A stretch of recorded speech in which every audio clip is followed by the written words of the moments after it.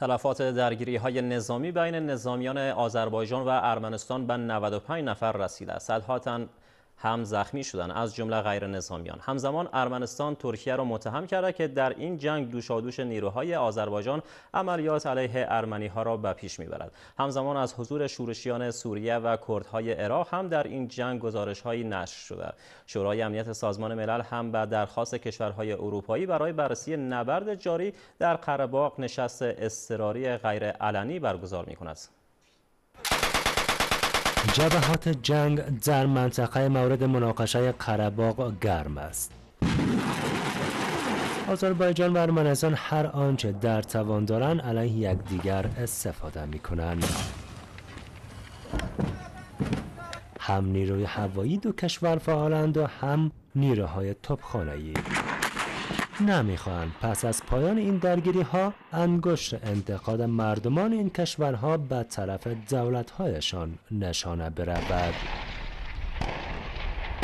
به همین خاطر آتش در میدانهای نبرد زبانه می کشد حالا پای نیروهای خارجی هم در این درگیری ها باز شده. ارمنی ها آنکارا را متهم می کنند که دوش دوش آذربایجانی ها علیه این کشور می جنگن. ادعای که ترکیه آشکارا آن را تایید نکرده اما از اعلام حمایت از باکو ابای ندارد. بار دیگر حمله ارمنی ها به خاک آذربایجان را محکوم می کنم ترکیه به حمایت خود از دوستان و برادران خود ادامه می دهد و هر آنچه لازم باشد را انجام خواهد داد. حالا زمان پایان بحران در این منطقه است. این منطقه بار دیگر با ترک ارمنی ها روی صلح و آرامش را خواهد دید. ترکیه همچنین متهم است که شورشیان سوری را به جنگ ارمنستان فرستاده. از سوی هم گزارش شده کردهای عراق به یاری ارمنی ها در مقابل آذربایجانی ها شتافتند. گزارش هایی که تاکنون مستندسازی نشده. ما باید برای یک جنگ شدید و طولانی آماده باشیم. دیگر چی باقی مانده؟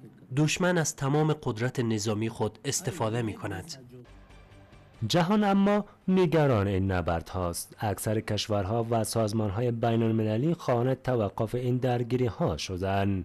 اتحادیه اروپا هم نسبت به دخالت خارجی در این مسئله هشدار داده است. از ادعای حضور شبه نظامیان سوری و دیگر نیروها در منطقه با خبریم اما حقیقت وجود مسلم آن را نمی‌دانیم. موضع اتحادیه اروپا واضح است. دخالت خارجی غیر قابل قبول است و نیاز است که از چنین دخالت ها جلوگیری شود.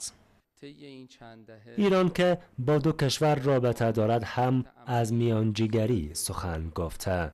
از هر دو پایتخت خواستیم باز هم می‌خوایم که توقف توقف این خصومت ها رو در دستور کار قرار بدن اجازه بدن تنفسی اتفاق بیفته. در این تنفس انشاءالله کمک خواهیم کرد که در مسیر درست حل و فصل موضوع جلو بره دو کشور از سالها پیش بر سر منطقه قرباق با هم اختلاف دارند. این منطقه با اکثریت ارمنی به طور رسمی بخش از خاک جمهوری آذربایجان است. اما از زمان پایان جنگ در سال 1994 در کنترل ارمنستان قرار دارد.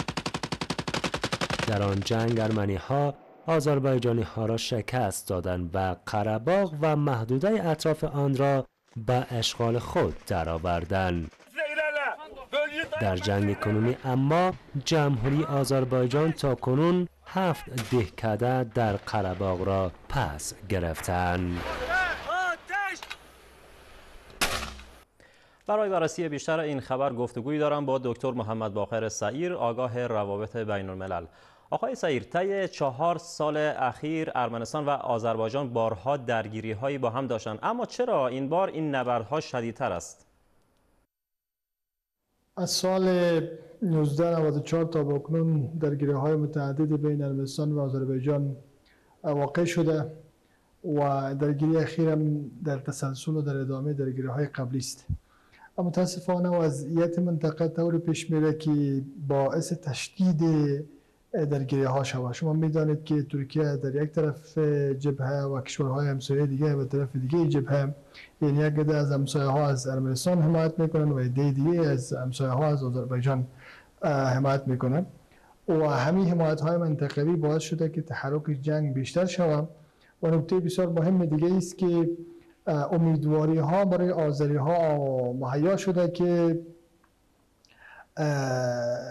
به خاطر عدم حمایت جامعه بین از ارمنستان می‌تونه یک نکته امیدبخش باشه. به می خاطر و مهمتر از امو نکته بسیار اساسی و بنیادی بحث تحولات منطقه‌ای است که تحولات منطقه‌ای و ساختار سیاسی و امنیتی منطقه باعث تشدید مسئله شده. پای کشورهای منطقه و حتی روسیه در این درگیری ها باز هست. این دخالت ها چقدر می‌تونه به شعله ورتر شدن درگیری ها بیانجامه؟ پیشتر اشاره کردم به شما که یکی از نکته های بارز در بحث مشکلات ارزی بین ارمنستان و آذربایجان همی است. روسیه، ترکیه، ایران و کشورهای دیگه زینف هستند و منافع استراتژیک و منافع عمق استراتژیک تعریف کردن در هر دو کشور. آذری ها نهایت تلاش داره با حمایت ترکیه و با اندیشه پان ترکیزم تلاش دارن که مناطق هفتگانه ای که فعلا در منطقه قرباخ زیر نظر ارمنی ها پیش برده میشه اینا را به دست بگیره و ترکیه شدید حمایت می‌کنه. از اون جایی که موفقیت آذری ها آذربایجانی ها در مسئله می‌تونه یک محدوده یا چالش مرزی ایجاد بکنه بین ایران و مرزهای بین‌المللی ایران نهایت از این مسئله تشویش داره لذا درگیری تنها درگیری آذربایجانی ها و ارمنستانی ها نیست بلکه یک چالش کلان منطقوی است که قدرت منطقه در عقبه مسئله بسیار دخیل هستند و دخالت از زمینا باعث شده که این بار شدت جنگ بیشتر شود و در آخر بفرمایید که تاثیر و پیامدهای این درگیری ها به منطقه چیست؟ متاسفانه منطقه قفقاز سالهای متمادی است که یک از مناطق بحرانخیز در سطح بین بوده. تبعات بسیار زیادی داره و از جمله تبعاتش احتمال روی یا احتمال یک جنگ غیر مستقیم بین کشورهایی که زیده اخلاقی هست هم می‌تونه باشه. اما خب او یک آینده دورتر مد نظر داره. نکته بسیار مهم اساسیش است که تلفات انسانی که در جریان تاریخ واقع شده و خصوصا با تشدید جنگ ها می‌تونه واقع شود یک از مسائل است. نکته بسیار مهم دیگه در این اختلاف مرزی است که جامعه بین‌المللی و کشورهای بزرگ منطقه به جایی که یک نقطه حائل باشن و یک نقطه باشن که دو کشور رو وصل بکنه و زمینه صلح مهیا کنه جامعه بین‌المللی از آوان شروع یا از آوان شروع درگیری ها تا به حال حالتی بی‌طرفی اختیار کرده و کشورهای بزرگ منطقه مثل ترکیه، ایران و روسیه متاسفانه خودشان در پروسه داخل هستند. دکتر محمد باقر سعیر آگاه روابط بین الملل بود که در ارتباط با تنش‌های اخیر آذربایجان و ارمنستان با او گفتگو می‌کردم.